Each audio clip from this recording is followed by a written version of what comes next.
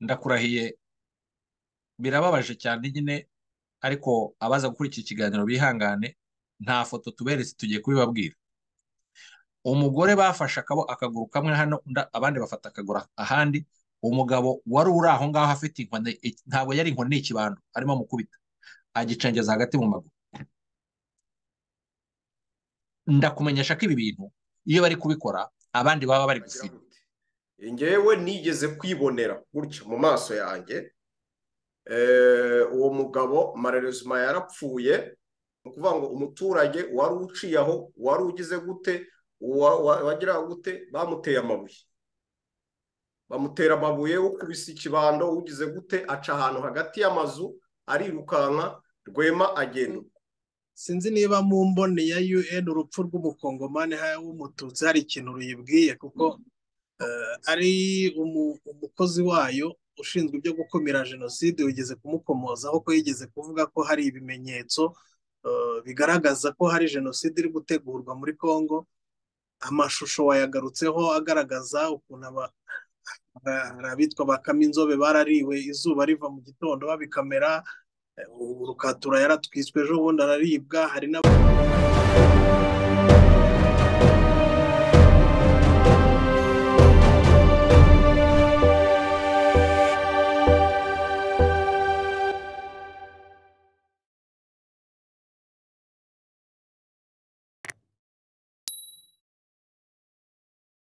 hanyuma rero munyemerere ubwo tuvuye mu bwongereza tujya no muri diaspora mu ntara ya gatandatu ariko noneho tugaruke muri afurika mu bihugu by'ibituranyi muri repubulika iharanira demokarasi ya kongo aba ariho dukomereza hakomeje kugaragara ibikorwa by'ubunyamaswa byibasira abaturage bo mu bwoko bw'abatutsi aho ubutegetsi bwa perezida w'iki gihugu felix tshisekedi bukomeje kubica kubica umunsi ku wundi. Nk'urugero mu mpera z'icyumweru gishize umusirikare mu ngabo z'igihugu FARDC witwa kapiteni Rukatura alias Kabongo insoresore zibarizwa mu kwaha k'ubutegetsi bwa Tshisekedi zamutwikiye ku karubanda kugeza ashizemo umwuka aho yazizwaga kuba umututsi benshi mwarayabonye ayo mashusho. Ku rundi ruhande ariko hari n'imikwabo ikomeje gukorwa mu bice bitandukanye by'intara ya Kivu y'Amajyaruguru bashakisha uwaba ari umututsi kugira ngo yishwe.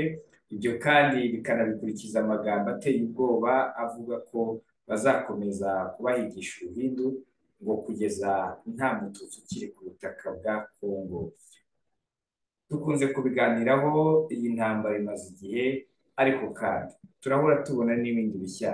Bwana Egide Ruhashya ubu bwicanyi bukomeje gukorerwa aba bantu bo mu bwoko bw'abatutsi muri congo amaherezo yabyo ni ayahe? Urabibona ute? Intera biri kugenda bifata umunsi ku wundi ubisesengura ute n'umuntu n'ubundi ukurikirana aya makuru yo muri iki gihugu? Kugira ngo muri kuri mute ahari.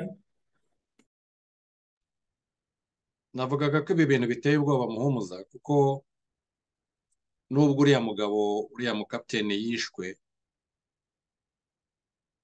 ariko ubwo wenda tunabwira abantu badukurikiye ko ntabwo bamwishe gusa baramwishe baramucana baramwotsa barangije baramurya. Abantu bumve ko kapiteni yariwe baramwishe baramurya. Uriya mukapiteni rero yari kapiteni mu ngabo za kongo kandi wemeye gukorera igihugu cye. Ikibabaje ni uko ari mu bantu batumvaga batanumva impamvu emuventura yaba iriho igaharanira uburenganzira bwayo. Yarayirwanyaga rero. Mu bantu bashobora kuba baragaragaye ko batakunze rwose emuventura n'amahame yayo nawe yari arimo buriya abadukurikira bamenye ko uriya musirikare uriya mukapiteni yari afite uburyo yahuye n'ikibazo cy'amasasu ari ku rugamba akaba rero yari kajoriti ku kaboko ariko bitatuma atagira indi mirimo akora mu ngabo. Ari muri ba bandi rero barwanya M23 cyane. Ariko urabona ko abishi be ntibigeze bajya kureba ngo bavuge bati ese uyu muntu turi kumwe mu buhe buryo? Bo bamurebye ku isura gusa. Badesida kwapfa. Buriya ajya gupfa yari ahantu. Noneho abantu bapanga gahunda yo kumwica kubera ko bamubonye aho yicaye. Icyaje kuba bohereje umusirikare umusirikare we kuko iyo uri kapiteni burya uba ushobora kuba wagira esikoti mwagendana. Amubeshya rero ko hanze hari abantu bamushaka. Yasohotse nk'ugiye kubitaba ako kanya batangiye kumutera ibyuma bamwegeka ku mukingo kubera ubwinshi bwabo no kumufatirana bamukubita ibyuma mu mbavu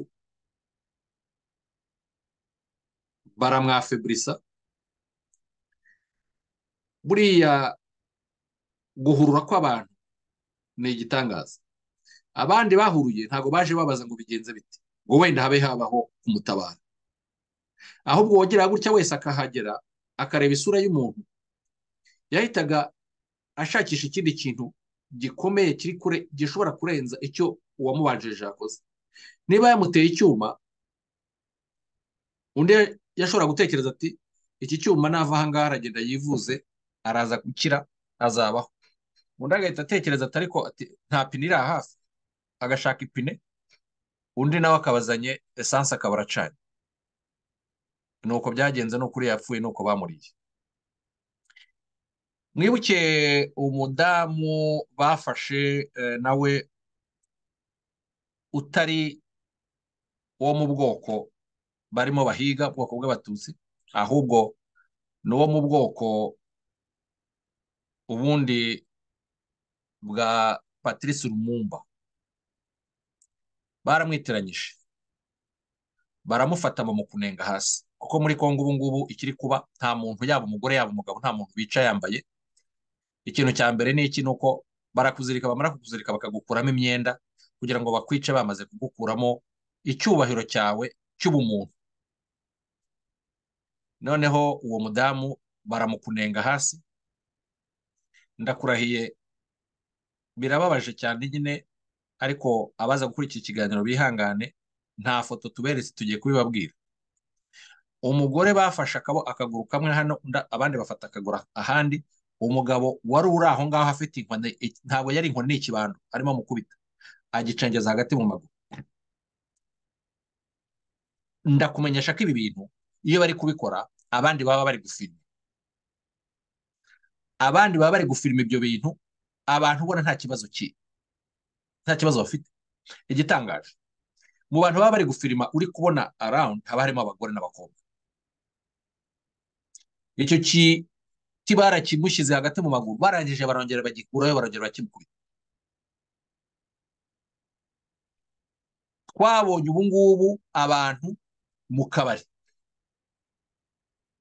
Iyo berekanye hasi ahagana ku birenge byabo ubu buri muntu wese ubona umuntu aba yicaranye umuhoro.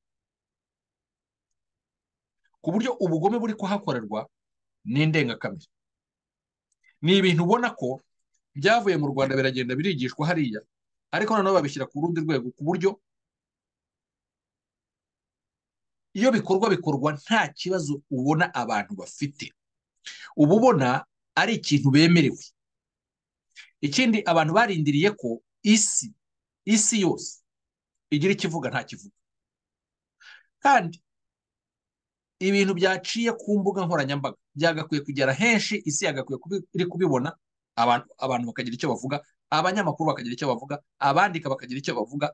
Reka da nta kiri gukorwa kure kubi leta ya kongo da nta kivuga.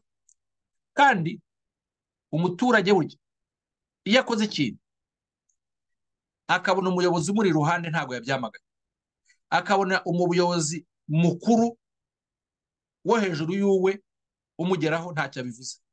Kugera ku mukuru w'igihugu. Nta byamaganye. Umuturage ahita avuga ati bya bintu burya nkora bigomba kuba byemewe.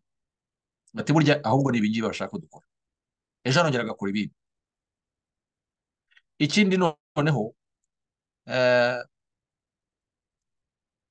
hajemo hajemo propaganda ikomeye ikomeye. Aba bantu bigishijwe ibintu bidasanzwe kandi babyigishwa mu buryo bwihuse.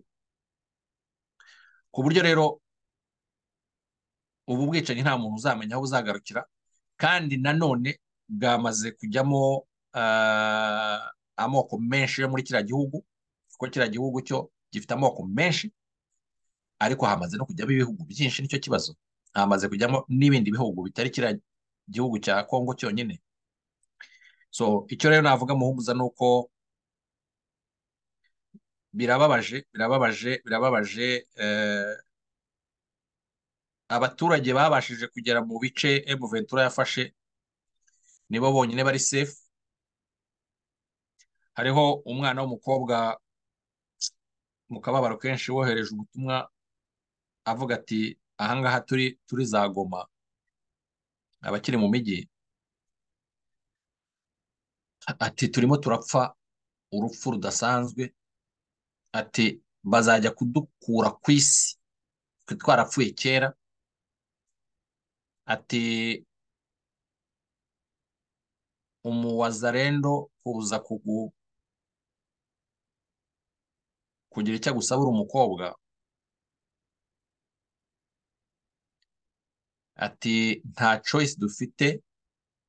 Ati kuko igisubizo cyitwa oya ku byo yaba agusaba ndavuga ubwo nko kuryamana nawe. Ati bikuvira mu ati rero uyu munsi niba umuwazarendo yaje mukaryamana kugira ngo udapfa ejo hakaza undi? Cyangwa niba mwahuye mu gitondo isaa sita hakaza undi nijoro hakaza undi? Ati barindwi bakaguhetura ku munsi. Utamenye indwara bari bugusigire? Utamenye niba bataza gusiga baguteye inda utazamenya ise w'umwana utazongera no kubona. Agahinda k'ibyo bari bugukorere cyangwa se ababyeyi bawe kuko ntawe batinya babikora ku karubanda. Ibyo bintu ni ibintu biteye ubwoba. Ibyitwa ko umuntu yaba afite umugore ibyo ibijya ibivugwa n'abantu cyangwa ibyo tubona kumwe umuntu avuga ati kanaka afite umugore mwiza? Ubu wese ufite umugore byitwa gutyo ubu wese ni uw'umuwazarendo ni uw'umuwazarendo abagabo baromotse bavuye mu mazu kubera kwanga ko bashobora kuza jase kubera ko akeneye umugore wawe akabanza akakwica. Abo bagore rero ni aba- ni ab'abazarendo ikibabaje ni iki? Ni uko iyo ufashe umuturage ukamuha imbunda nta masomo umuhaye y'uko imbunda ikora n'iki igomba gukora n'igihe igomba gukora. Wabanje kumuturavaya psikologikuma wabanje kumubwira neza mbene mbene ibyo bintu n'icyo bikora. Ntabwo bazajya ku rugamba kuko barutinya. Iyo mbunda bayibahaye ngo bajye ku rugamba ntabwo bazajyayo. Inzara ibicirayo ubuswa bw'urugamba no kutaba forume no kutumva koze y'urwo rugamba ntabwo warwana n'umuntu ufite determination n'icyo aharanira ngo urwane nawe bishoboke ahubwo icyo akora ni iki? Agarukana ya mbunda kuza kwiba. No kurepinga gufata abagore ku ngufu. Muhumuza rero ibi bintu birimo akaduruvayo kenshi cyane. Hari ababikora bagendereye kwica gahunda ihari y'abantu mu buryo buzwi. Hari abandi bari kubyinjiramo bugoryi ariko sitiri nabo bari kwica. Ku buryo iyo rwaserera yose baraza gusanga mu by'ukuri igihugu cyashize. Niyo mpamvu ahangaha umuntu ashobora kuvuga ngo umuntu wese wese wese ubona biriya bintu. Yagakwiye gutabaza. Abazi kwandika bandike. Abazi kwandika bandike abazi kuvuga bavuge abafite izindi influence zindi zagera ku bantu bashobora kugira icyo bamenya bashobora kugira icyo bakora yego bapfa barapfa ariko nibura abantu bazakurikirana. Kuko hakwiye no kubaho ubushakashatsi kureba niba koko ikiri kuba muri kongo atari jenoside. Ni urukurikirane rwa jenoside yabaye mu rwanda ruri gukurikirana hariya muri kongo nguko uko nabinyuramo muhumuza ni ibintu bibabaje ariko nguko uko bimeze. Urakoze cyane bwana egide. Ikindi umuntu yavuga ni uko amakuru ari kuva hariya interahamwe zo muri fdr ni uko ari zo ziri imbere mu gukwirakwiza ingengabitekerezo ya jenoside muri congo ndetse n'urwango ku banyekongo b'abatutsi. Ndetse zinatoza imwe mu mitwe nka wazalendo igizwe n'urubyiruko rwo mu ishyaka riri ku butegetsi. Ibi bishimangirwa n'uko amaduka y'abanyekongo mu bwoko bw'abatutsi akomeje gusahurwa ndetse na ba nyirayo bakicwa n'ubwicanyi bivugwa ko bukomeje gutegurwa na guverinoma perezida Tshisekedi ayoboye ndetse akaba anatera n'inkunga ikomeye umutwe wa FDLR ugizwe n'abasize bakoze jenoside yakorewe abatutsi mu gihumbi kimwe na magana cyenda na mirongo icyenda na kane. Ibi bikorwa rero by'ubu bunyamaswa ndengakamere bije kandi nyuma y'aho intumwa idasanzwe y'umujyanama wihariye w'umuryango w'abibumbye ishinzwe gukumira jenoside madame alice wayirimo atanze impuruza ku bimenyetso biganisha kuri jenoside iri gututumba muri congo. Ku buryo nk'uko bwana jide wabivugaga hatagize igikorwa amateka nk'ayabaye mu rwanda muri mirongo icyenda na kane ashobora kwisubiramo. Bwana gatete nawe urabikurikira ibyo muri congo. Urwego biri kugenda bigeraho urabisesengura ute? Ese koko ubu ntiyashobora kuvuka jenoside cyane ko ari ibintu bitari ibya vuba bimaze igihe kandi abo baturage bahohoterwa amaherezo urabona ari ayahe? Mu mboni yawe urakoze muhumuza kumbaza kuri icyo kibazo. Ikigaragara cyo ibimenyetso byinshi birahari mu byo twagiye tubona kera mbere y'uko jenoside yo mu rwanda iba. Hari ibimenyetso byinshi cyane bisa nk'ibirimo birakoreshwa ubu ngubu mu gihe cya none byakoreshwaga mbere mbere y'uko jenoside yakorewe abatutsi mirongo icyenda na kane iba mu rwanda. Ndabaha urugero. Hari akantu ejide yigeze kuvuga ko gutera amabuye umuntu muhuruye mutazi ikibaye mugakubita mukagira gute.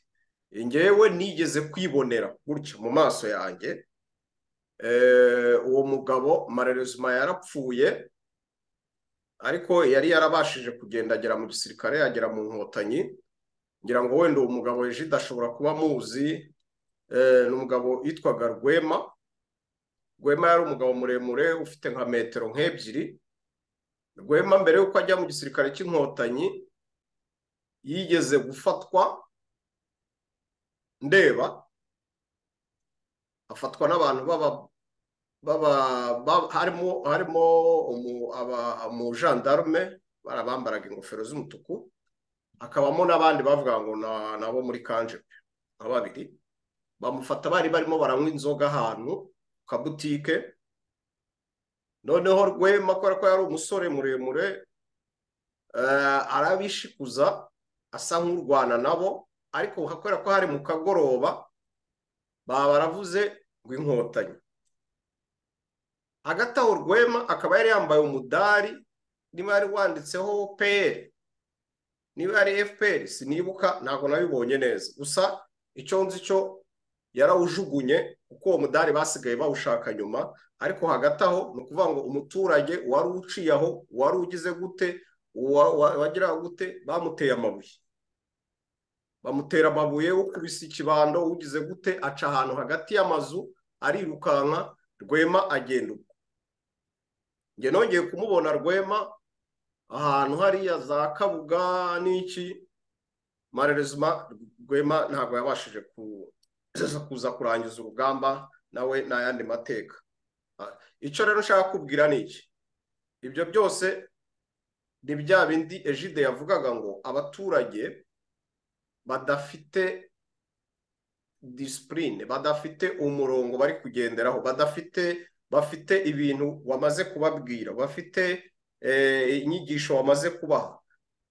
Izo ibyo ni ibintu biri mu bintu ako ni urugero rumwe ni agatonyanga kamwe nteruye mu bintu byinshi byagiye biba. Ngira ngo uraza kutwereka abadukurikiye amafoto ndayaguha y'abantu bicaye mu kabari bafite imihoro. Iyo mihoro irimo iratangwa barifata amavidewo bya bindi by'abakongomani icyo mbakundira. Biriya byo mu rwanda n'ubu tukirwana na byo abantu bajya gushinja abandi bakabihakana ibyo bakoze nta nta nta sosho mediya ntizabagaho. Ariko iby'abakongomani biroroshye cyane mu gihe kizaza. Kuzaba uyu muperezida uriho n'abandi banyabyaha bagenda bakora bino byaha bazabibazwa. Amafoto aragaragara amashusho arahari uze kuyereka abantu imihoro barayifite barayihabwa barangiza bagafata serifi urumva? Ibyo ibyo ni ibimenyetso bimwe mu biba birimo birategurwa ni ukuvuga ko harimo ikiri gutegurwa. Hagati aho abakongomani bo ubwabo nk'aho ibi bidahagije. Baraza gukurikizaho. Mwibuke ko iyo iyo ntuza na yo iyo iyo ntuza na yo yabaye mu rwanda. Ni ukuvuga ngo interahamwe nyuma yo kwica abatutsi icyari gisigaye na cyo cyagezweho bari basigaye bavuga bati n'igisa n'igisa n'umutuku. Noneho icyari gikurikiraho ni kwicana hagati yabo. Bapfa iki? Bapfa ibintu. Noneho izo ka zose zo muri congo ni uruvangitiranye birimo ni ukuvuga ngo uhaye abantu imbunda abo wita ba bazarendo urumva? Ariko mu by'ukuri nta masomo wabahaye ibyo jide yabivuze ikiriho ni iki? Barazikoresha mu gusahura mu kwikiza umwanzi mu kwikiza uwo ari we wese batavuga rumwe mu kwiha uburenganzira mu gufata abagore ku ngufu ibintu byose bibi bishoboka. Ubu rero ikigezweho ni iki? Ni ukuvuga ngo abakongomani na ba bandi bitwa ko nyine ubwo tujya muri bya bintu by'amoko n'ibiki byose bitwa ko atari abatutsi bitwa ko ari abantu mu bundi bwoko buri aho ngaho bwo muri congo nabo bari kwicana hagati yabo ngira ngo mwabonye abakatange biciwe ahantu bita za kasayi urumva? Ibi ibi ni ibintu byabaye muri congo. Ntabwo amavidewo dushobora kuyazana hano. Ni ibintu biteye ubwoba. Ngira ngo mwabibonye bya bindi jide yavugaga babica bose babambuye ubusa. Urumva? Ibi ni bimwe mu bimenyetso by'ibintu biba bigenda bikorwa. Ubu si ibingibi bazagenda bavuge ngo ni u rwanda. Ko ibintu byose usanga bagaruka ngo ni u rwanda. Iyi regiyo ibintu birimo biraberamo nta kintu na kimwe bibwiye leta ya siyeje leta ya kinshasa. Nta kintu na kimwe biyibwiye ngira ngo mwumvishe ikiganiro perezida wa repubulika wa congo yagiranye na na france venkatire ejo. We ubwe wenyine bamubajije bati se ni iki ubona mu ntara y'amajyaruguru? Uvuga ngo masisi na rucuru. Urabona hari amatora ko wabwiye sena ubwira abantu ubwira igihugu ubwira iki ko amatora agomba kuba ategurwa ahantu ho ku buryo abakongomani bose bazatora. Yabivuze neza kiwazi ku mugaragaro. Ati si impamya neza ati dezore nta matora azaba rucuro n'amasisi kandi mwibuke ko uyu muperezida ajya avuga ngo u rwanda ngo na za uganda ngo n'ibice ngo barashaka kubarikaraniza ngo kongo. Esike ubu si we ugiye kubyikorera ahubwo ntabwo abikoze ku mugaragaro abantu televiziyo yari kuri televiziyo arabyivugiye ati kiriya gice nta matora azabamo. Oke kiri mu ntambara. Ngo tuzajya ngo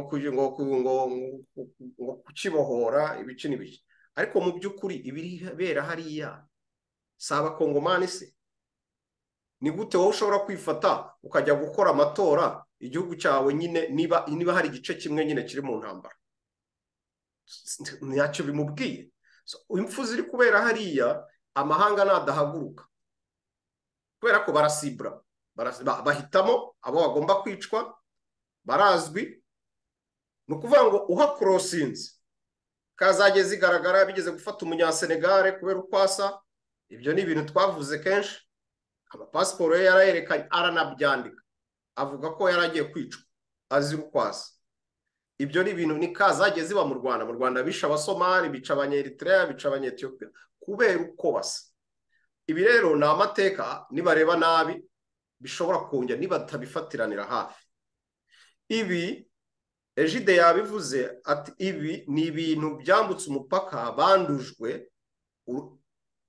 Simeo uze kutubabarira uza uhe videwo abatwumva cyangwa abadukurikira. Videwo y'umu fdr wafashwe na M23 bamubaza bati nihe mishoni yanyu? Murimo hari?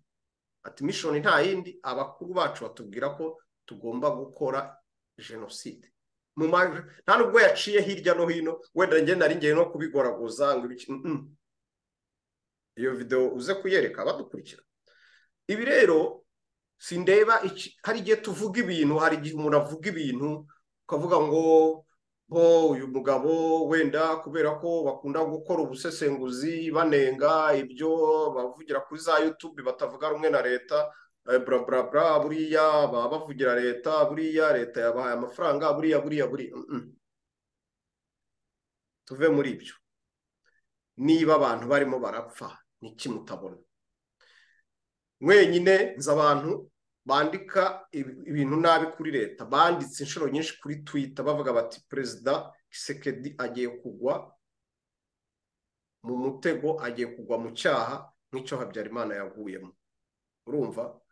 Uyu mugabo aba bantu bari kumwe ku buyobozi. Baramugusha mu mutego kandi umuriro ni we uzakira. So muhumuza ibi ngibi ntabwo ari ibintu nibaza ko isi igomba gukomeza gutega amaso. Hari amavidewo yo aranagaragara menshi cyane sibyo si ngombwa kuyereka abantu hano. Ejide yabisobanuye no kubivuga aranabivuga byonyine ukumva nawe ubaye ukuntu mu mubiri. Iyo ubireba rero amavidewo ateye ubwoba. So rero sinzi icyo isi itegereje kugira ngo byibuza bafate icyemezo bavuga bati ifuke ibi bintu bihagarara ntabwo bishobora gukomeza gutya. Ubu ibi ngibi bazasubira inyuma bavuge bati ibi byose ni u rwanda. Kuko ngo ibintu byose ivuga ko ari u rwanda. Ubu bazasubira inyuma bavuge abicana tura barimo baragaragara abica abantu baragaragara amavidewo arahari bazajya bavuga bati oke uyu nguyu ni umunyarwanda ariko akorera mu kihe gice? Abanyarwanda baratandukanye. Niba koko ukorana n'abanyarwanda bakoze jenoside ukaba ubacumbikiye mu gihugu cyawe ukaba uzi ko nta yindi mipango yabo. No nawe rero hagarara hamwe umenye ikigiye kubaho ni bya bindi damiye ni we ukunda gukoresha iryo jambo. Ngo wisunga imbwa ngo mugakubitirwa hamwe. So rero ni akazi kabo. Ku rundi ruhande uyu perezida uriho kwishinga gukorana na fdr n'abandi bakongomani bamwe na bamwe badafite ubwo bwenge badafite ubwo bumuntu bwo gutinyuka kwica umuntu ku manywa y'ihangu ukamwandagaza ukamurya. Mu by'ukuri ibi na byo ni igisebo ku banyafurika. Muri muri muri muri iyi ntuza turimo muri iki kinyejana turimo wibwira ko imbere y'abazungu batubona gute. Niba ushobora kuba wafata ikiremwamuntu ugatinyuka ukotsa umuntu ugafata videwo ntaho turi kujya ntaho turi kujya nubwo tujya aho ngaho tukabeshyira abazungu sometimes. Ariko ntaho afurika tumeze nk'abantu bakiri muri mbere ya yezu ntabwo bibaho. Nabwo kandi n'isi ribaza ko baryaga abantu. Ibi rero guturana n'umuturanyi mubi buri gihe uhorana ikibazo. Ashobora kwatsa umuriro ni umusazi. Umuriro ushobora gukongora iyi yose turimo. Uyu mugabo sinzi niba batabibona ko ashobora guteza intambara ashobora guteza akaturuvayo intambara dushobora kwisangamo hano muri regiyo twese. Ibihugu byose bituranye nawe kubera iki? Abantu bari iruhande rwe egisperiyanse ni munsi ya ntayo y'ibyo akora. Oke ni perezida w'igihugu reka no kujya aho ngaho ngo nanjye musuzugure ariko ibyo ari byose ibyo akora biragaragara. Urakoze cyane muhumuzi urakoze cyane bwana gatete. Hanyuma tuva kuri iyi ngingo bwana roje ngira ngo gatete yabikomojeho hari bamwe bavuga bati u rwanda n'ubundi ntiruhema kugaragaza ko ruhangayikishijwe n'ubu bwicanyi bwibasira aba banyekongo bavuga ikinyarwanda bo mu bwoko bw'abatutsi. Ibintu bunahuza kuba by'umwihariko u rwanda cyangwa se leta y'u rwanda yarafashe umwanzuro wo kwiyemeza guharanira ko jenoside yabaye mu rwanda yakorewe abatutsi itakongera kubaho ukundi yaba mu rwanda ndetse no hanze yarwo. Amahanga hari benshi mu basesenguzi bavuga bati akwiye kwifatanya n'u rwanda mu kwamaganira kure ubu bwicanyi. Kandi ababugiramo uruhare bagashyikiriza ubutabera amazi atararenga inkombe ariko ukurikije aho ibintu biri kugana ukareba amahanga nanone uburyo hari izindi nyungu hari abavuga ko na yo afitemo inyungu ku kuba hari intambara abona uko abasha wenda kugira ibyo asahurayo cyangwa akurayo. Amaherezo y'ibi bintu wowe ubisesenguye urabona ari ayahe? Aho biri kugana umunsi ku wundi uko turi kubona urwego ubu bwicanyi buri kugeraho buri gukorerwa aba banyekongo b'abatutsi hariya muri repubulika iharanira demokarasi ya kongo. Ngira ngo uri kuri mute ahari wakorana mute. Urakoze urakoze kuri kuri icyo kibazo. Ngira ngo iyo tuvuga amahanga amahanga ubwo tuba tuvuga ngo umuryango w'abibumbye tuba tuvuga ubwo ni UN tuba tuvuga ariko sinzi niba mu mboni ya UN urupfu rw'umukongomani w'umututsi hari ikintu ruyibwiye kuko ari umukozi wayo ushinzwe ibyo gukumira jenoside wigeze kumukomozaho ko yigeze kuvuga ko hari ibimenyetso bigaragaza ko hari jenoside iri gutegurwa muri congo amashusho wayagarutseho agaragaza ukuntu abitwa bakama inzobe barariwe izuba riva mu gitondo babikamera urukatura yaratwiswe ejo bundi araribwa hari n'abandi abari kujomba ibisongo ejide yabagarutseho ni ibikorwa bikorwa n'abawazarendo bakanabyigamba inka ziratemwa zikaraswa ni ibintu byagaragaye bibera hariya muri congo ngira ngo ibyo bintu byose byakwiyongeraho ko buriya nta na jenoside idategurwa na leta ibaho. Ngira ngo olivier yaragarutse ku kiganiro perezida wa congo yahaye rfi na france 24 yivugiye ubwe arasingiza wazarendo ati sesonde zero ati ni intwari kuba perezida w'igihugu atinyuka ashira isoni nkeya zo kuvuga ko wazarendo n'ibikorwa bari gukora akabita intwari. Ngo ni abapatiriyote ni ikintu kikwereka ko ni we muntu wihishe inyuma y'ubwicanyi buri gukorerwa abatutsi hariya muri congo. Rero ngira ngo nta kintu kindi umuntu yatinda kuko ntacyo kubitindaho. Muri congo hari gukorwa jenoside hari gukorwa jenoside iri gukorerwa abatutsi b'abanyekongo. Ndahamya ko nk'uko jenoside yakorewe hano mu rwanda bakanga gukoresha ijambo jenoside ngira ngo ni kominote interinasiyonari yanze gukoresha iryo jambo kuko ikintu cyitwa jenoside bafite bategetswe. Bategetswe gutabara abantu bari mu kaga bari gukorerwa jenoside. Niyo mpamvu ntuzigera wumva urupfu rw'umututsi w'umukongomani ntacyo rubabwiye nk'uko urupfu rw'umututsi wo mu rwanda rutigeze rugira icyo rubabwira. Rero kuvuga ngo ngo sinzi icyo amahanga ategereje nta n'icyo amahanga azanigera akora kuri iki kese kuko icyo agamije arimo kwiyibira nta kindi. Ahubwo igihari ni ugutera ingabo mu bitugu ikintu cyitwa emu ventura tukabakuraje tugakangurira n'abo batutsi barimo bicwa bakakanguka bakamenya ubwenge bagasanga M23 ikajya guharanira uburenganzira bwayo bakajya gufatanya guharanira uburenganzira bwayo. Kuko sinumva ukuntu umuntu witwa umututsi akiri mu gisirikare cya kisekedi cya gikora munsi y'inyumva. Ntago babyiyumvisha. Niba bona bamaze gutwika abatutsi bagenzi be nka bane mu gisirikare cya kongo we arumva afite ayahe mahirwe yo kukibamo? Simba mbyumva. Rero ngewe nta kintu nteze kuri ayo mahanga iyo isi ikiri kuvuga isi ihita ihugira hehe baraza guhugira muri muri israel na palestine kuko iyo urebye blinken blinken inkomoko ye ni hehe ni muri si umujuifu si umuyahudi niyo mpamvu amerika izahugira cyane hehe izahugira muri israel yohereza abasirikare muri israel ibyo bari gukora muri palestine impinja ziri kuraswa ibitaro biri kugwa ku barwayi turimo turabibona ariko ibyo bintu ntibizavugwa nk'ibibazo ibyo ngibyo ntabwo tuzabisakuza ahubwo hazasakuzwa iki? Ibyo ngibyo biratagatifuje kuko biri gukorwa na amerika ifatanyije na israel ariko umututsi uri gutwikwa bakamurya muri congo nta kintu na kimwe bibabwiye. Rero mbona igisubizo igisubizo nta kindi cy'abanyekongo kigomba gukemurwa n'abanyekongo ubwabo bagomba kumva ko bagomba kurwanya leta mbi bagomba kumva ko bagomba kurwanya leta y'abagome bagomba kwifatanya na M23 bakayigana ikarwanya abagome ikarwanya abicanyi ikabatsinsura kandi abicanyi ntabwo bateze kuzatsinda. Ubu ni iteka ryose kuko nta kindi gisubizo mbona usibye kuba M23 yahangana n'aba bantu ikabatsinda ikabatsinsura kuko ni cyo gisubizo ku batutsi bo muri Congo. Naho ubundi gutega gutega amakiriro kuri Loni nta kintu na kimwe Loni izakora. Icyo yakoze barayibonye hejuru y'ibyo abo basenze b'abazarendo bari gukora twabikomojeho hejuru y'ubugome bari gukorera abantu. Icyo Loni yakoze ni ukwifatanya ngo na FARDC ngo mu kurinda ngo no guhangana.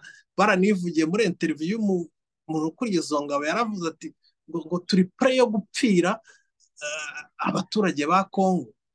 Iyo ni monisco ya oni ubwo urumva watega iki kuri iyo kominote ngo interinasiyonari nta kintu urupfu rw'abakungumani rubabwiye nk'uko nta kintu na kimwe urupfu rw'umututsi hano mu rwanda rwababwiye icyo bakoze ni ugufata bagapakira n'imbwa zabo bakambuka bakagenda bagata abantu bakicwa abantu bazi ibyabereye kuri eto eto kicukiro abatutsi basaga bibiri magana atanu bakabasiga mu menyo y'interahamwe zikabica urubozo.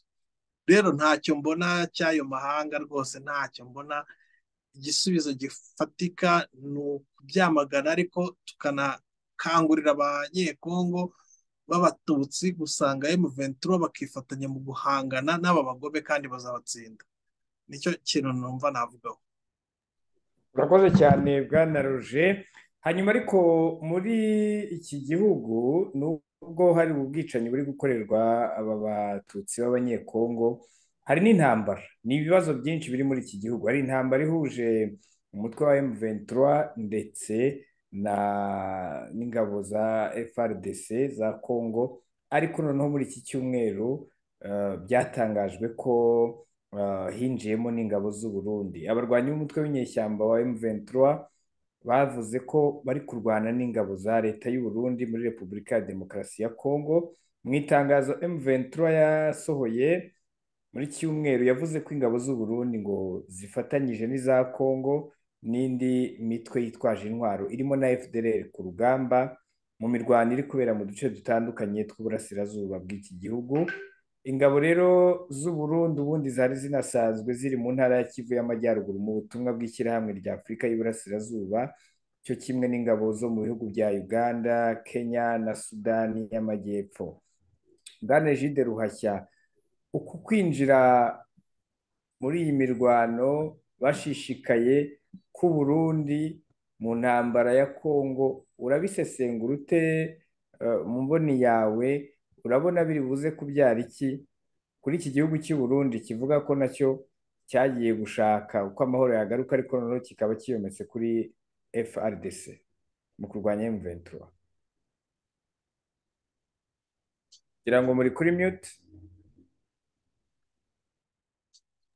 Sorry sorry. Um, nagushimiraga nashimiraga ikibazo warumbajije reka nongere nitse gatoya mu cyo ruti yararangije kuvuga.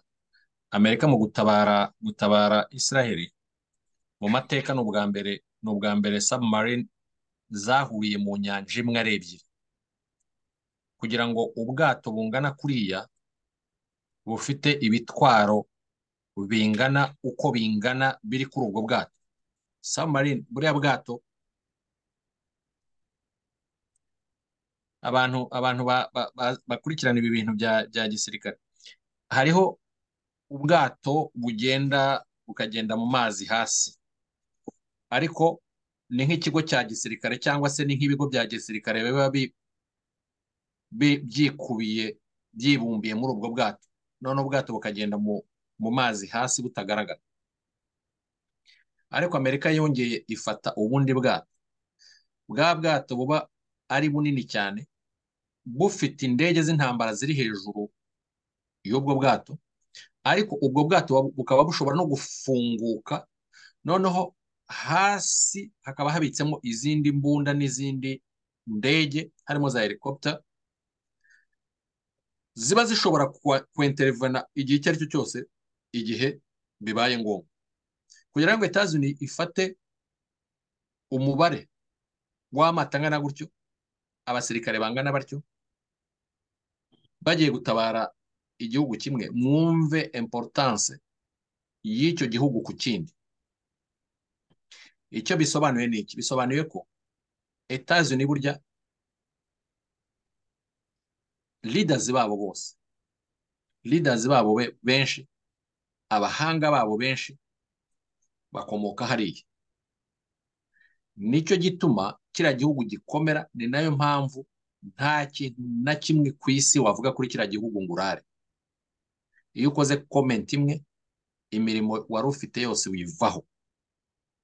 Hari puresha ikuzaho bigasa naho bibaye itegeko ko imirimo wari urimo bitewe n'uruvugiro wari ufite kugira ngo ubashe kuvuga icyo kintu babikuraho. Kabone n'amafaranga yawe utunze muri banki nta gishoro washyize ahantu ngo gihombe. Ariko bamekinga shuwa ko ukennye bakamekinga shuwa ko diri zose wakoraga utakibasha kuzikora ni ibyabaye kuri kanye wesiti n'abandi benshi. Hano hari uwayoboraga pariti y'abareba Corbin bigeze gusanga kera hari akantu kuvuga akurikiza zayenga ntuza kiriya babibona nyuma y'imyaka ingahe? Ariko ari umuyobozi w'iyo pariti politiki. Bamusabye kuvaho ubu yavuyeho. Hari undi muntu wari umu MP mu bihe bishize? Nawe hari akantu gato yavuze bisawundinga nk'ibyo ngibyo. Nawe ubu yavuyeho. Uyu nguyu suwera bereverimani mu bintu byamukuyeho hariho ibintu bitatu. Akandi kantu gashobora kuba nawe karasawundinze nabi ni uko hari abantu bigaragambije bashyigikiye abapalestine noneho leta iyo mvuze leta ni ukuvuga polisi mu buryo bwa interivasiyo kuko polisi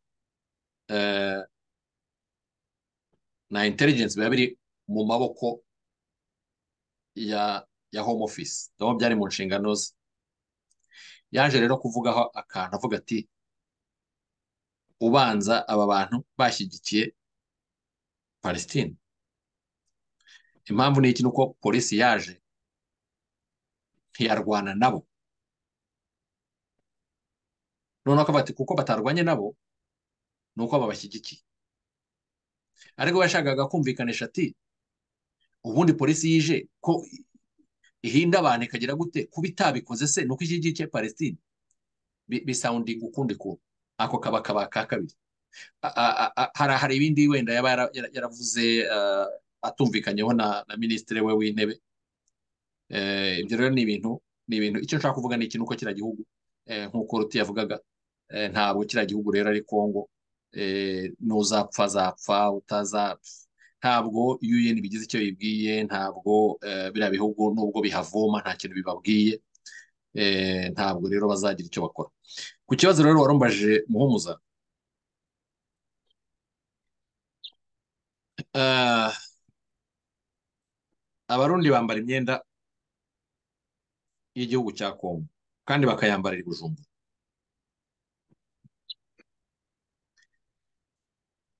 umuntu wese w'umusirikare iyo ari guhabwa briefing hari ibyo abwirwa. Hari ba- baguha hari mission baguha bakubwira ati ugiye kuva aha ugiye kujya aha icyo tugiye kuhakora ni iki? Iyo mvanyemo umwenda umwambaro nari nambaye w'igihugu cyanjye. Hariho icyapa gikoze mu ibendera ry'igihugu. Uwo mwambaro nkawuvanamo bakampa uw'ikindi gihugu nkawambara nkagenda ndi uwo- ndi uwo muri icyo gihugu. Hagakwiye kuva ibibazo byinshi. Baraza bakagushyira mu ndege bakakubwira ko ugiye kurwanya umuntu runaka. Barabibabwiye bati mugiye kurwanya abanyarwanda. Iyo yari mission babahaye mugiye kurwanya abanyarwanda kuko barabivuze. Ntabwo twebwe turi kuvuga ibintu twitekerereje n'ibyo bo bivugiye. Noneho ukajya kurwanya umunyarwanda ariko usanze mu kindi gihugu. None se umuntu atekereje igihe bibaye ko utakibasha kubona umunyarwanda urwanya muri icyo gihugu? Ko ariyo mission ufite? Bizagenda bite? Abirive ko uzajya kurwanya umunyarwanda aho ari. Kuko niba uri kumurwanyiriza mu gihugu runaka umunsi uzaba utakimubona mu buryo ubwo ari bwo bwose. Uzahindukira ushaka aho umunyarwanda ari. Icyo gihe ni uku ni uku ni ukuza aho abanyarwanda bari kandi abanyarwanda baba mu rwanda. Hano hariho ikintu cyo kwitondera cyane. Diri ihari hagati ya kisekedi n'uburundi ni iyihe? Ku buryo abasirikare b'igihugu bava mu gihugu bakajya gutanga sapoti mu kindi gihugu cyo kurwanya abantu. Bavuka aho ngaho batuye aho ngaho bakuriye aho ngaho ibisekuru n'ibisekuru ariko mukagenda bababwiye ko ari abandi bantu. Mukabishyiramo imbaraga. Mugafasha. Baragiye babanza guhagarara hagati nk'abasirikare ba yase muri zone tampo zone demilitarize hadagomba kuba ibikorwa bya gisirikare. Bigeze aho ha hantu hose bari bahagaze barahava bahaha ingabo za kongo ni ukuvuga ngo barushaho kwegera M23 kandi aho hantu hagombaga kuba nta kintu kiri kwagurwa cy'igikorwa cya gisirikare. Nyuma yabyo bakareka ingabo za kongo zikaza bakaziha ya myenda byitwa ko bambaye nk'ingabo z'u Burundi ariko ziri muri iyase noneho uko bakora control uko bakora rek uko bakora iki barimo barareba neza ibikorwa bya M23 abandi bambaye imyenda y'ingabo za Kongo ari abarundi. Abakongomani bakambara imyenda y'abarundi bari muri iyasi hano harimo ikintu gikomeye cyane eh, umuntu wese ashatse yakwisobanurira. Eh, hariho ibintu by'amasezerano yagiye aba hagati ya CNDD FDD n'interahamwe na FDR ayo masezerano rero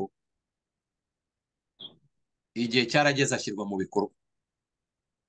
Ariko mu gushyirwa mu bikorwa ahabwa imbaraga n'iki? Ahabwa imbaraga n'amafaranga ya Kisekedi mu buryo bwo kugira ngo aborohereze bose. Eh, umuntu rero yakwiye kureba cyangwa akanumva. Eh, iyi ntambara habayeho kubanza kuyisasira ibintu bitari byo. Habanje kubanza kuyisasira ibintu bitaga ampire hima. Ampire hima kuyisasira bagira ngo bakabye ibintu. Noneho bavane ibintu mu Rwanda babijyane Uganda babivane Uganda babijyane muri Kenya. Niyo mpamvu uzarebe eh, aba, abasirikare ba Kenya bari muri yase nabo uko bafatwa ni kimwe nabo baba bavugwa nabi. Ndetse bajya bijijisha bakabarasaho. Bajya bijijisha bakarasa ku bagana so icyo kintu cyo gukreye ikintu cya mpiri hima bakakizana bakagituraho. Uzareba bagiye babivuga ni abakongomani gusa. Nta muntu n'umwe wigeze yubaka kiriya kintu wundi nibo bacyubatse bagituraho. Eh, eh, yageze kuvuga ibintu bya balkanization nibo babivuze bwa mbere. Nta wundi muntu wari warigeze abivuga. Ariko bavuga ngo ni cyo cyifuzo. Ariko ni abantu b'abakongomani bajya ku maradiyo na televiziyo zabo bakavuga biriya bintu. Iyo uvuga biriya bintu rero ufite uko wumvikana ufite uruvugiro umuturage arakumva umuturage rero hari abantu bazi ko mbene bariya abantu cyane cyane iyo uri umuntu w'umuhanga mu kintu runaka iyo ufite eh, uri umupolitisien bafite uko bakwemera ikintu cyose uvuze ntabwo bashobora kuvuga ko ari ibintu ushobora kuba wahimba ukurikije umutima wawe nawe ushaka kuganisha politiki. Bo bemera ibyo uvuze. Umuturage bugacya yafashe umuhoro. Kiriya kintu barabanje barakigisha kirakura kirakura kiba kinini. Ubu rero ibyo ibyo ibyo abantu bari kurekorota bari kurekorota bya bindi babandi bagiye bavuga. Ntawe bitaniye na bya bindi bya Lewo Mugesera yavugaga ati abantu bazabica babanyuze muri Nyabarongo basubire iwabo muri Abisiniya banyuze inzira y'ubusamo bwarakeye ibyo bintu barabikora. Kubera ko Mu- Mugesera yari umuprofeseri wo muri universite yari umuntu w'umuhanga yari umuntu ufite izina rikomeye kandi bazi neza. Bakumva ko ibyo yavuze ari ihame. Ikindi iyo uvuze ikintu nka kiriya ntagire ukunyomoza ni ukuvuga ngo biba ihame nyine baravuga bati niko bigomba kumera. So abantu rero barigishijwe eh, barabyubaka nta nubwo tuzi wenda inyuma twebwe ibyo tu- ibyo tubona ni ibijya hariya hanze baba bifotoreye ariko ntushobora kumenya ibindi bintu bica hasi bakagenda babibwira abaturage umwe umwe. Buriya rero mu kuza kwa kuriya nta n'igitangaza ko bavuga bati tugiye gu- gu- gu- gu- gutanguranwa no gutangira ya balkanization na empire hima bitigeze bigira ahantu biva ari bo babikereye bakabitura aho ngaho.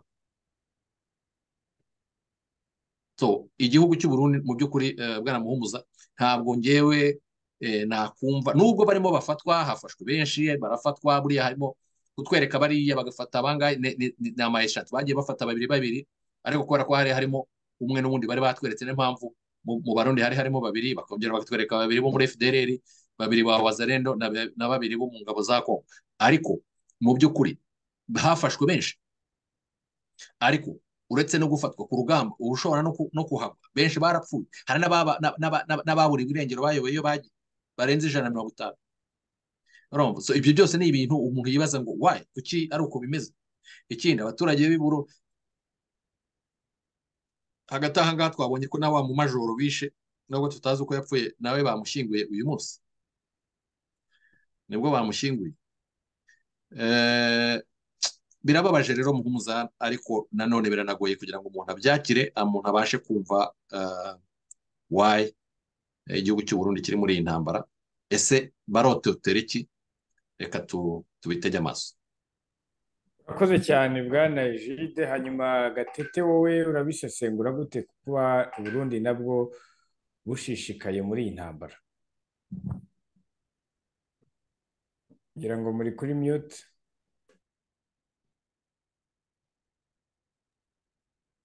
Sorry nari mute. Eh, urakoze muhumuza. Biragoye kugira icyo mvuga nyuma y'ibyo Egide amaze kuvuga kuko yabivuze hafi ya byose. Eh, ibi ni inyungu biragaragara. Ni inyungu ni inyungu z'ubuyobozi buriho bw'u Burundi. Ngewe niko nabibona niko nabyita. Kandi na mbere y'uko bijya kuba perezida wa Kinshasa perezida felix yagiyeyo abonana na perezida neva. Ibiganiro bakoranye birazwi ibyabikurikiyeho biragaragara.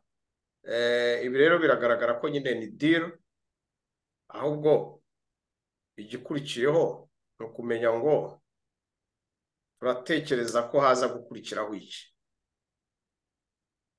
Ibi bintu ntibishobora gukurikizaho intambara ikomeye ishobora gutuma hari igihe regiyo ishobora kwisanga mu ntambara. Mu gihe uburundi bwaba bari kuvuga baravuga ko uburundi bwegereye umupaka w'u rwanda niba amafaranga babahaye babemerera gukora ibyo basabwa babyemera nibaza ko bazageraho bakanasabwa gutera u rwanda cyangwa kurasa ku rwanda. Icyo gihe rero ubwo urumva nawe cyakurikiraho u rwanda narwo rwakirwanaho. Nyuma yo kwirwanaho se hakurikiraho iki? Ese abasirikare magana ane bavugwa ko bohereje ku mupaka babasha kurwana n'igihugu. Ni ukuvuga ngo icyo gihe igikurikiraho ni uko igihugu cy'u Burundi cyakora gishoboye kugira ngo kize gutabara abasirikare bacyo bari ku mupaka. Urumva rero icyo nshaka kubwira muhumuza ibintu ni ukubitega amaso ariko ntabwo ari byiza. Ntabwo ari byiza na gato cyane ko twabibonye ko kiriya gihugu duturanye cya kongo kirimo abasazi benshi. U rwanda ni ukubyitondamo kuko rushobora kwisanga mu ntambara yaba ari intambara barwana na kongo ariko ikaba irimo abarundi rukaba rwakisanga mu ntambara rurwana n'abarundi na byo byashoboka. Ariko ntabwo mbyizeye ngenda bivuga nkanjye gutyo uko mbibona. Ariko ni mu gihe abo basirikare bari boherejwe ku mupaka hafi n'u rwanda mu gihe baba amabwiriza bahabwa mu gihe baba babahaye amabwiriza bakayakurikiza. Bayahawe na ba basazi. Kuko mu by'ukuri ugiye kureba aba bagabo nta kintu bo nta kintu kintu igihugu cyabo kuko niba badashobora kurwanira igihugu cyabo sindeba ukuntu abarundi ari bo baba intwari cyangwa bakaba ibigoryi kugira ngo bajye kumarara amaraso yabo ku gihugu kitari icyabo. Ntabwo ndeba ntabwo mbibona ibyo bintu. Simbona niyo umuntu yaguha amafaranga wese uzayarya ute? Uzayarya ute? Ushobora kutayarya. Ni ukuvuga ngo amafaranga yabo na nyine abo bakuru ariko mu by'ukuri biragoye muhumuza kugeza izi saha kugira ngo umuntu avuge ati njye ndabibona gutya kandi ni nako bizagenda. Ko biragoye. Ariko ikigaragara cyo nta dufite ingero nyinshi zigiye zitandukanye zayire yigeze kuza gutabara habyarimana bohereza abasirikare barwana n'inkotanyi bigeze aho baragenda. Abafaransa nabo baragerageje. Bigeze aho bavaho baragenda. Haza interahamwe ngo turi buzigereranye nka wazarendo. Ubwo rero uzi amateka byose ibyo byose arabifata agenda abigereranye abihuze. Arabona ko nta nyungu abarundi baba bafite mu ntambara yo kujya kwishora mu ntambara ngo bajye kurwana n'igihugu nk'u rwanda. Cyangwa gukomeza no kurwana na emuveritura nabo nyine ibyo bariho ni diru. Bazabireba nibabona bitameze neza icyo basaba ni ugucaho nyine nta kindi bakiciraho bakigendera nta yindi. Njye ni uko mbibona. Urakoze cyane bwana gatete. Hanyuma bwana hoje wowe urabibona ute kuko Burundi bwinjiye muri iyi ntambara?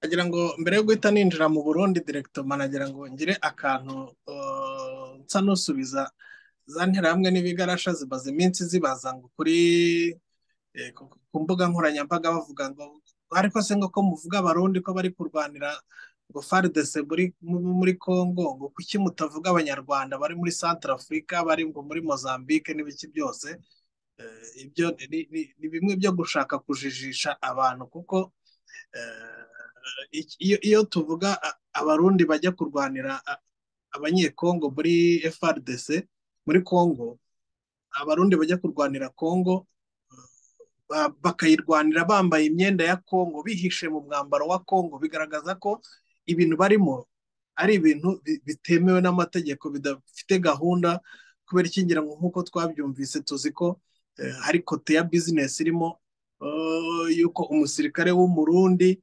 umwe uri gufasha Congo kurwanya M23 ari kwishyurwa bari kumwishyura bari kwishyura leta y'u Burundi amadolari ngira ngo ageze ku bihumbi bitanu ku musirikare umwe. Eh, ibyo rero bikerekana ko Congo irimo irakora bi- u Burundi buri gukora bizinesi mu bana barwo bashorwa eh, mu kurwana na M23. Ariko ikijyanye no, kuri kote y'abanyarwanda abanyarwanda uretse ko hari abantu batanazi ko ari bari muri contingent za, UN ziri, zirimo gufasha kugarura amahoro. Bari mu butumwa bwo kugarura amahoro muri Central Africa bari mu butumwa bwo kugarura amahoro muri Sudani muri Sudani y'Epfo. Ba- ba- bari mu butumwa bwinshi bwo kugarura amahoro hirya no hino ku isi. Ariko by'umwihariko muri Mozambique ho ni abanyarwanda. Hari partenariat hagati y'u Rwanda na Mozambique yo gufasha igisirikare cya Mozambique kurwanya eh, aba- aba- aba- aba- abateroriste ba- bari ba- baribasiye kariya gace ka Cabo Delgado kandi abanyarwanda ntabwo bagenda bambaye imyenda ya Mozambique. Bagenda ari abanyarwanda ni RDF igenda igakora yo kurwanya biriya byihebe biri muri Mozambique ikabitsitsura bagataha hakajyayo abandi. Kuko bagenda no gufasha mu gutureninga igisirikare cya Mozambique kuko ntibazahora hariya bazabafasha kurwanya ibyo byihebe babafashe gutureninga abasirikare babo babashyire kuri standard nziza yo kwicungira umutekano ubundi bimanukire bigarukire mu Rwanda. Rero ibyo bintu biratandukanye bihabanye n'abarundi bahaguruka bakambara inifomu ya Congo barangiza bakajya kurwana mu izina rya FARDC kandi ari abarundi bi- biyambitse imyenda y'abanyekongo. Kugira ngo icyo kintu cyumvikane neza kuko uh, harimo byitiranya kubera ubujiji ariko hari n'ababyitiranya kubera bya ngengabitekerezo yabo yo gushaka guharabika gusa u Rwanda. Noneho ikindi kintu nabonye gishobora kuba gi- gituma abarundi ba- bajya gufasha uh, FARDC kurwanya M23 M23 iharanira ni abana ngira ngo ni abana bari rucuro na za masisi ni abatutsi bari hariya bakoresha ururimi rw'ikinyarwanda benshi. Eh, kuba rero uburundi bwo muri CNDD FDD bajya kurwanya abatutsi hariya muri Congo ni ikintu kiba- kibabangukira kibabangukira kuko tuzi ibyo bakoze hano mu Rwanda. Tuzi abarundi ko ibyo bakoze muri za Rusizi ibyo bakoze muri za Nyamasheke ibyo bakoze muri za Kinazi eh, muri muri za Mayaga abarundi bariye abantu bariye abatutsi. Bishe abatutsi bari bafite ubugome burenze indengakamere ku buryo bishe abantu bakanabarya. Njyewe mfite umugabo wari ugiye kuribwa ubu ni visi meya ah, muri muri Ruhango witwa Rusiribana twariganiriye arambwira ati bari bandiye bari ba- bari barashyizeho amashyiga yo kotsa aho aho- aho aba- abatutsi hariya muri Ruhango. Kuba rero bashobora gukora bizinesi yo gufasha FARDC kurwanya abatutsi. Mbona ari ibintu bihita biborohera kuba ku- kuba babijyamo kuko nabo nta rukundo aba bantu bitwa abadede bafitiye abatutsi kuko ngibyo babakoreye mu Rwanda turabizi. Mbona ko n'ako kantu kiyongeramo kuko biborohera kuba ah, bajya kurwanya bajya kugi- gushyigikira abajenosideri bari gukorera jenoside abatutsi muri Congo kuko n'ubundi ni abajenosideri muri rusange dufite n'ingero z'ibyo bakoze hano mu Rwanda. Numvaga ari cyo kintu nagira ngo nongereho.